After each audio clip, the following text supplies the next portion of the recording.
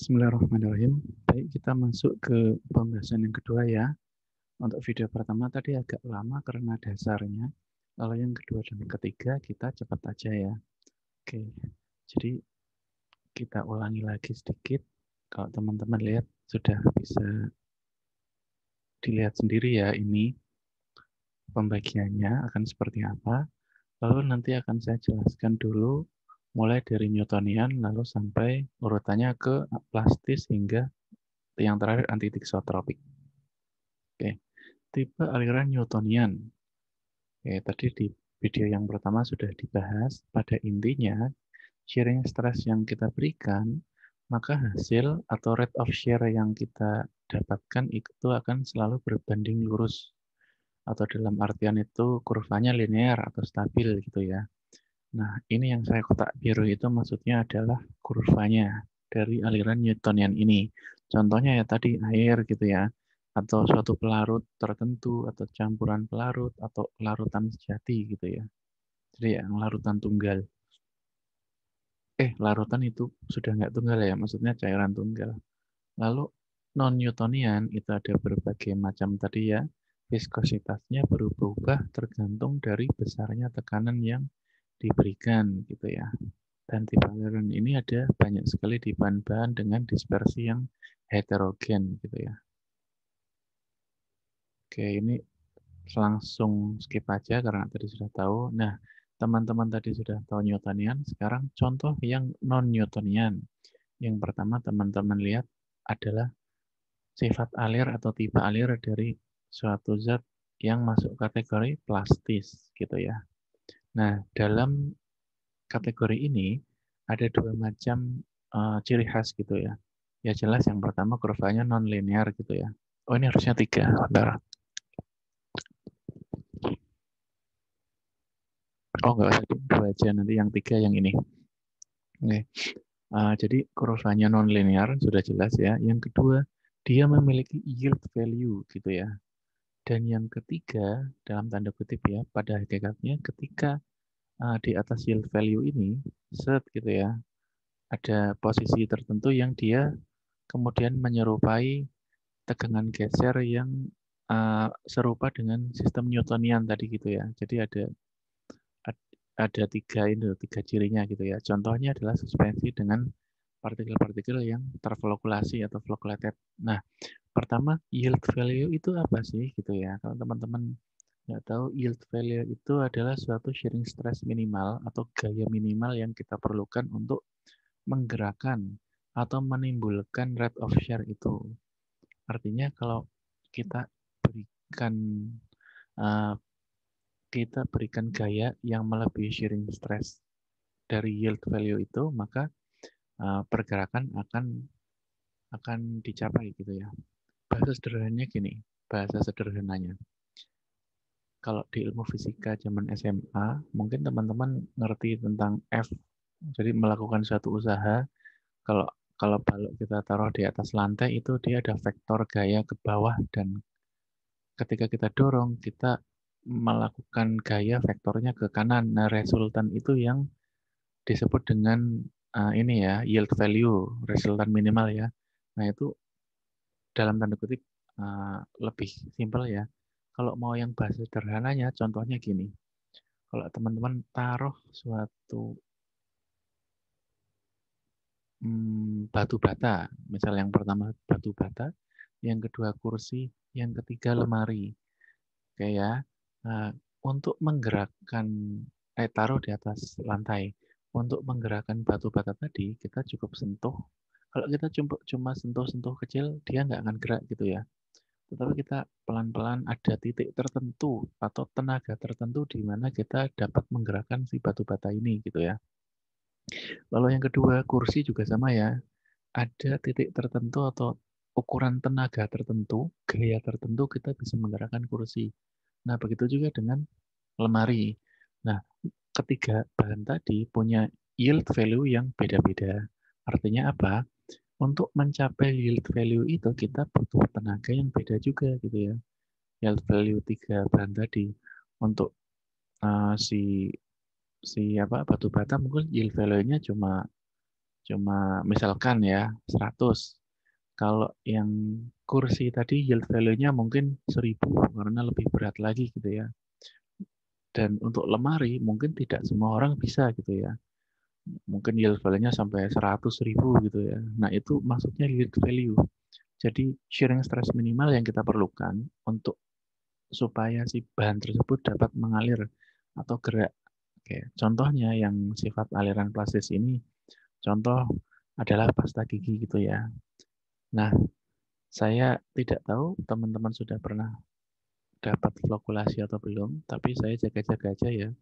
Jadi contoh ini kan adalah suspensi dari partikel-partikel yang terflokulasi. Nah, flokulasi itu apa? Gitu ya. Kalau teman-teman tahu dispersi dari suatu zat gitu ya, dispersi di farmasi itu, kalau kemarin kita bahas kan berdasarkan ukuran.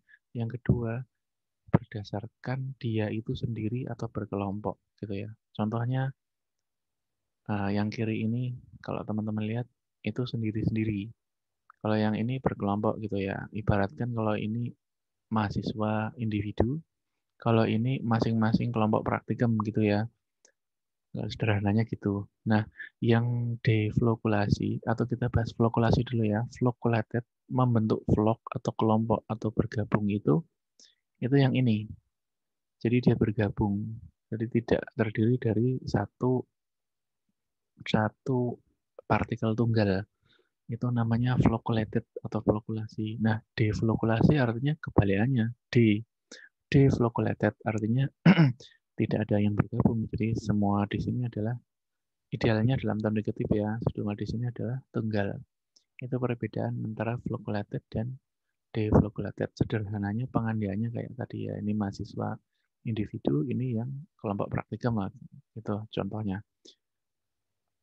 Oke, nah sama ya ketika kita punya suatu bahan, yang ini yang kanan ya, kita lihat aja. Si suspensi atau bahan yang mengalami flokulasi itu dia me menempati volume yang lebih besar dibandingkan yang diflokulasi. Contohnya gini, kalau dua ini punya konsentrasi yang sama, kita kocok sampai nyebar ke mana-mana, lalu kita diamkan. Kita tinggal, kita tunggu satu hari gitu ya, besoknya kita mati, maka yang terdeflokulasi itu akan seperti ini, gitu ya. Jadi dia mampat benar-benar nggak ada sangat minimal ruang antar partikelnya gitu ya. Nah untuk yang flokulasi seperti ini, jadi masih banyak ruangan antar partikel gitu ya, karena karena ini ya, iya kalau teman-teman nuang pasir sama nuang Lego gitu ya atau atau apa pun yang bentuknya nggak beraturan itu kan pasti menempati volume yang beda. Kalau teman-teman pernah main Tetris gitu ya juga, yang ini yang benar-benar mampat gitu ya. Kalau yang ini yang nggak beraturan gitu, jadi berantakan, masih banyak ruangannya. Itu sederhananya flokulasi dan deflokulasi gitu ya. Nah, si aliran plastis ini dia contohnya adalah uh, suspensi dengan partikel-partikel yang mengalami flokulasi gitu ya. Yang pertama kita cepat aja. Nah, untuk mengukur si ini, nah ini yield value tadi udah ada penjelasannya ya. Uh, ada persamaan yang kita punya yaitu U sama dengan F per min F kecil per G, intinya ya viskositas plastis ini sama dengan sharing stress kurangi yield value dibagi ah ini salah lagi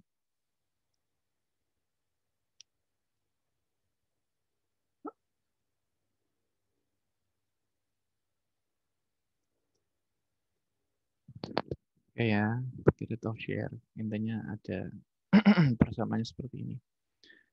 Tapi pada intinya saya ingin teman-teman lebih mengetahui perbedaannya aja gitu ya. Plastis, yang kedua pseudoplastis. Jadi mirip gitu ya. Pseudo gitu kan semu. Oke, biasa disebut dengan share thinning system. Artinya di sini itu dia uh, thinning itu mencair gitu ya, menjadi lebih cair. Artinya apa? Kalau teman-teman punya bahan dengan sifat seperti ini, maka ketika kita berikan gaya yang makin besar, maka dia mengalami penurunan viskositas, gitu ya. Oke, okay. Uh, contohnya kurvanya seperti ini. Ini saya bandingkan ya. Kalau yang biru-biru ini artinya normal Newton, normalnya kalau cairan Newtonnya. Kalau yang ini yang pseudoplastis gitu ya. Simbol pseudoplastic flow. Ini seperti ini.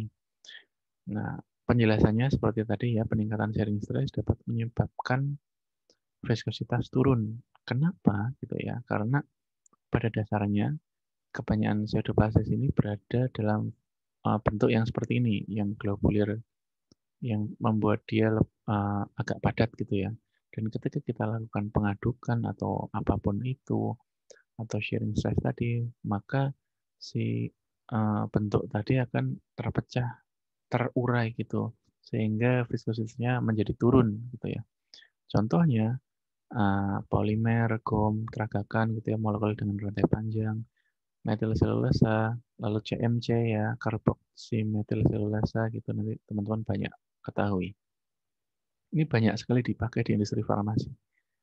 Lalu yang contohnya ya tadi ya uh, saus tomat dan lumpur hidup gitu ya. Kalau saus tomat kita diamkan dia mengendap dan diem dan kental ya. Tapi kalau kita kocok dengan keras dia dia pada suatu ketika akan mengalami fase di mana dia jadi lebih cair gitu ya dan si kecap ini bisa dituang sama kayak lumpur hidup ya semakin kita banyak gerak di lumpur hidup tuh malah makin ecer makin mudah tenggelam gitu ya intinya seperti itu itu contohnya yang ketiga ya tadi kan satu udah dua udah ini tiga dari empat ya yaitu dilatan Dilatan itu apa sih? Dilatan itu kebalikannya, yaitu shear thickening system. Artinya dia mengental gitu ya. Jadi kebalikannya ketika kita kasih gaya yang makin banyak atau makin besar, justru viskositasnya makin naik gitu ya. Beda dengan CO2 plastis tadi. Nah, contohnya itu uh, kita temui di suspensi konsentrasi tinggi gitu ya dan partikelnya terdeflokulasi kalau yang tadi awal kan flokulasi gitu ya. Oke. Ini contoh kurvanya seperti ini. Ini Newtonian. Dan ini kurva yang dilatan. Nah, kenapa sih dia bisa mengental gitu ya? Prinsip sederhananya seperti ini.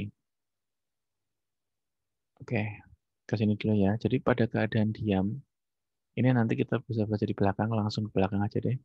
Ini ya, kalau teman-teman lihat Nah, ini ini suatu dilatan pada keadaan diam dan ini ketika dilakukan penggojokan atau apa pun gaya yang kita berikan gitu ya. Ini keterangannya nanti juga teman-teman bisa baca.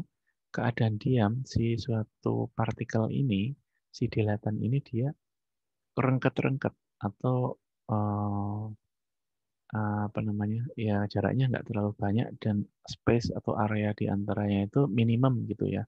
Nah ketika kita lakukan atau berikan suatu gaya atau apa pun itu force, maka si partikel itu akan dengan cepat menyebar dan mengembang. Kenapa disebut dilatan? Karena dilat itu ya. Dan pengembangan ini menyebabkan ruang artikel, antar partikelnya makin besar gitu ya. Nah, semakin besar ruang antar partikel, lalu dispersinya makin menyebar dan keberadaan atau apa namanya si ruangannya terbatas, maka jelas hambatannya meningkat dan viskositasnya meningkat jadi makin kental gitu ya. Nah, si fat alir dilatan ini, tipe alir ini banyak kita jumpai contohnya di uh, um, apa namanya? pati amilum jagung gitu ya. Yang kedua di ini apa namanya? Uh, pasir pantai ya. Jadi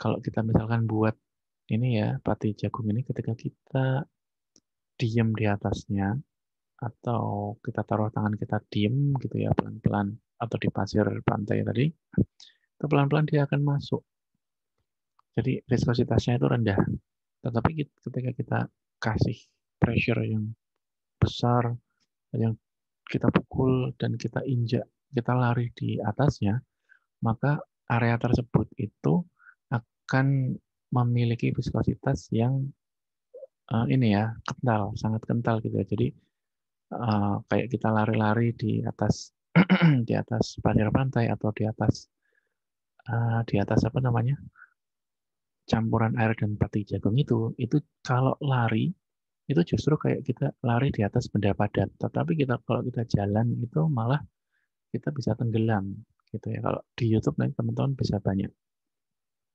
ketahui. Oke. Kalau tadi udah empat tipe aliran tadi ya. Nah, sekarang kita masuk ke fenomena tiksotropik yang ada hubungannya dengan tipe aliran tadi ya. Kalau ini kita bahas tipe alirannya aja, jadi karakteristiknya ya dan kenapa di sini ada time dependent gitu ya. Dan ini non time dependent artinya karena memang ini karakteristiknya ya.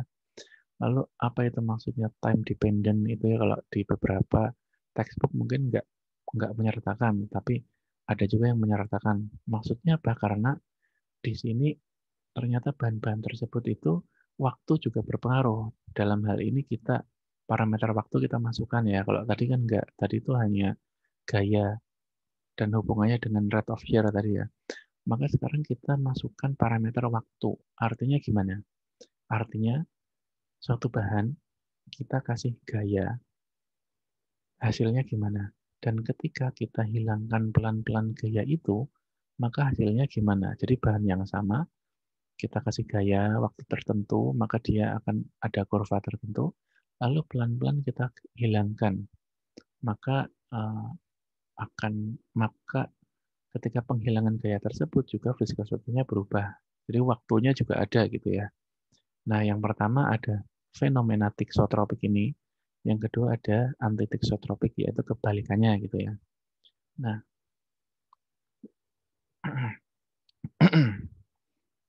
jadi tipe aliran tiksotropik ini kalau di sini sudah time dependent ya keadaan diam, dia menyerupai gel, jadi agak kental. Lalu ketika kita berikan tekanan atau gaya atau shearing stress tadi, viskositasnya turun, menjadi lebih cair. Ketika kita hilangkan gaya tersebut, maka dia kembali ke kekentalannya gitu ya. Akan tetapi uh, waktu dia menjadi cair, waktu yang dibutuhkan, dan waktu yang dibutuhkan untuk dia kembali ke asalnya itu beda. Jadi kalau kita kasih gaya, dia accidentally atau cepat sekali menjadi viskositasnya turun, akan tetapi kita, kita hilangkan, maka pembentukan viskositas seperti semula itu adalah perlahan, gitu ya. Maka grafiknya jadi seperti ini. Contohnya kita temui di suspensi konsentrasi tinggi dan partikel yang terdeflokulasi tadi sama ya. Karena ini ada parameter waktunya. Nah, untuk uh, kenapanya itu ada seperti ini. Oke, kalau teman-teman pada intinya ya, sistem tiksotropi itu uh, ada suatu jejaring partikel-partikel uh, itu membentuk suatu kontak dan menyerupai jejaring tiga dimensi dan seperti itu yang menyebabkan si cairan ini rigid atau kental gitu ya. Nah, ketika kita berikan gaya, sama kayak tadi ya, dia uh, struktur mulai pecah dan mengikuti arah gaya tersebut sehingga menjadi lebih encer. Dan ketika kita diamkan, maka dia pelan-pelan membentuk gambar yang ini lagi ya, membentuk jejaring kayak tadi lagi. Nah, bahasa sederhananya, kalau teman-teman lihat ini aja ya, dari kental jadi encer, jadi kental lagi itu gampangannya tiksotropik gitu ya. Nah, antitiksotropik itu apa? Kebalikannya gitu ya. Tapi ini saya jelaskan dulu. Jadi ada penelitian awal ya yang contohnya penelitian magma magnesia. Jadi ketika si magma magnesia ini diberikan suatu gaya intinya gitu ya. Yang kita kasih gaya, kita pelan-pelan hilangkan, lalu kasih terus gitu ya. Maka si magma tersebut akan terus mengental gitu ya. Nah, pemberian gayanya itu A, B, C ini maksudnya A kasih kasih sharing stress itu kita lepas, kita kurangi dulu, kita lagi gitu ya. Kita kasih lagi hingga si magma magnesia ternyata mencapai kesetimbangan gitu ya. Kalau teksotropik tadi kan eh, antara naik dan turunnya beda ya. Nah, sampai hingga pada saatnya dia mencapai kesetimbangan. Ini salah satu penelitian ya, ini sekilas saja. Nah, di penelitian ini suatu kesetimbangan tadi tampak ya di kurva D itu Nah, pada kesetimbangan ini artinya maksudnya gimana? Maksudnya ketika kita lakukan atau berikan suatu ini apa namanya gaya gitu ya. Uh, ketika kita berikan suatu gaya, ini kan awalnya uh, bentar bentar.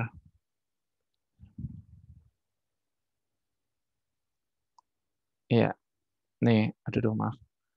Suatu bahan itu encer gitu ya, bahan dan ketika kita berikan satu suatu apa namanya gaya terus gitu, maka dia akan lebih mengental gitu ya. Dan ini bagus ketika kita gunakan untuk bahan-bahan yang uh, apa namanya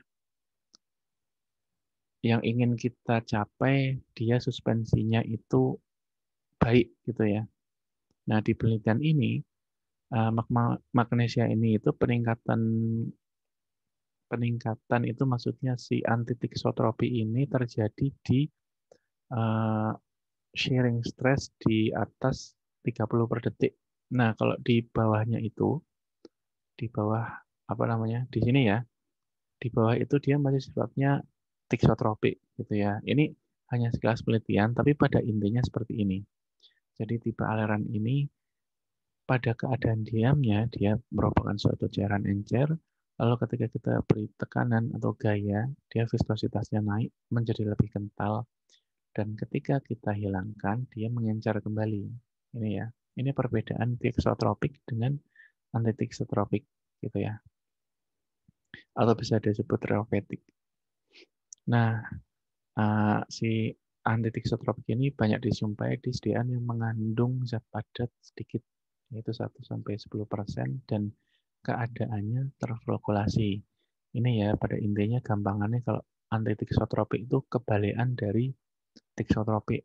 Kalau tadi tixotropik itu kental jadi encer, jadi kental lagi. Kalau antitixotropik itu encer, jadi kental, jadi encer lagi. Oke, jadi ini rangkuman di apa yang saya sampaikan tadi ya, tipe-tipe aliran, sifat dasarnya itu ada yang plastis, plastis dan dilatan, lalu fenomena tixotropik berdasarkan waktu tadi ya, ada tixotropik dan anti tixotropik. Nah, ini nanti intinya teman-teman bisa baca sendiri. Ya. Oke, gitu ya. Ada sediaannya, yield value-nya gitu ya. In, lalu ada pemberian sharing stress atau kayak geser, di sini hasilnya viskositasnya gimana, lalu penghilangannya tuh nanti gimana gitu ya. Ini ya, yang ini karena ada faktor parameter waktunya gitu ya. Oke, okay, yield value juga ya. Kalau yang ini anti tixotropik tadi maksudnya uh, untuk penelitian tadi ya, ada laju minimal untuk memperoleh fenomena ini di beberapa sampel. Contohnya yang magma magnesia tadi. Oke, okay. uh, jadi intinya seperti ini yang video kedua. Untuk yang ketiga, metode penentuan sifat terologi atau pengukuran tadi ya, pengukurannya si viskositas ini. Dan contoh pengaplikasiannya ada di video ketiga. Oke, sekian. Terima kasih.